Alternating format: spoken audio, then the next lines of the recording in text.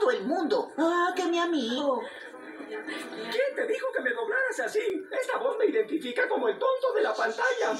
Lamento que te sientas así. Solo quería darle una identidad a tu personaje. Si te crees muy gracioso, ¿por qué no te imitas a ti mismo? Yo te daré una Scooby mordida. Hay ciertas partes del guion que tenemos que discutir. No tiene sentido, no tiene humor y nadie aprende nada. Ah, Lucas aprende a tirarle a los patos con escopeta.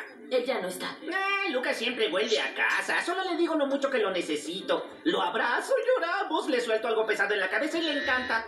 Eso ya no importa. Ahora lo que tenemos que pensar es cómo voy a ayudarte a recuperar tu presencia en la pantalla. La solución te pondremos con una coestelar guapa y sensual.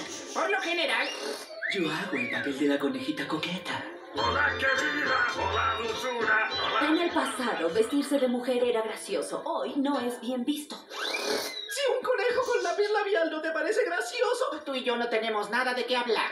Mira, espero que esto no lo tomes a mal, pero mi trabajo es explotar todo lo que tienes que ofrecer y no permitiré que ni tú ni un pato alocado... Lucas, Lucas, lunático, desquiciado, pato de mente o como se llame, no importa. pues esto importa.